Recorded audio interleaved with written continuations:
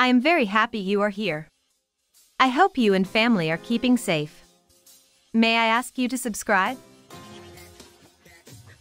The mountain gorilla is one of the two subspecies of the eastern gorilla. It is listed as endangered by the IUCN as of 2018. There are two populations, one is found in the Virunga volcanic mountains of Central Africa, within three national parks, Mgahinga, in southwest Uganda, Volcanoes, in northwest Rwanda, and Virunga, in the eastern Democratic Republic of Congo. The other population is found in Uganda's Bwindi Impenetrable National Park.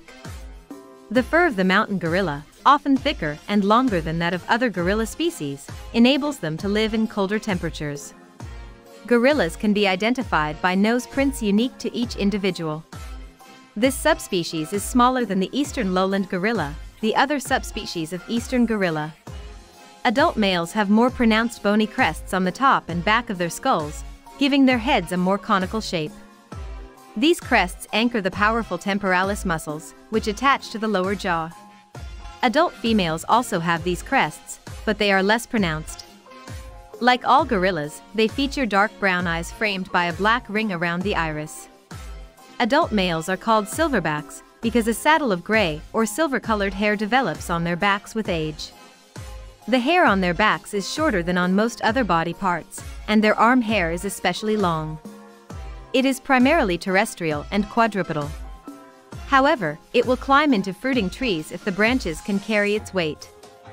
Like all great apes other than humans, its arms are longer than its legs. It moves by knuckle walking, supporting its weight on the backs of its curved fingers rather than its palms.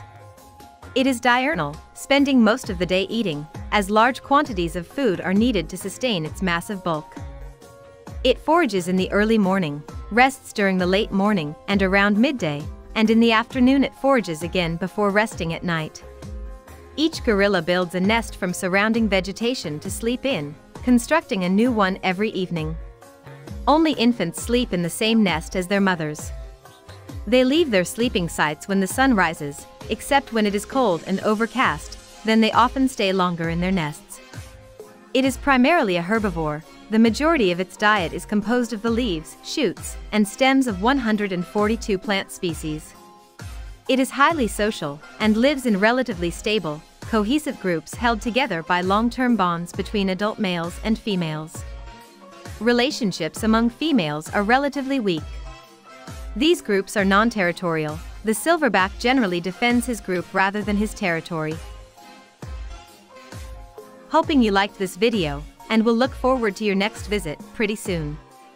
Till then, take care and be safe.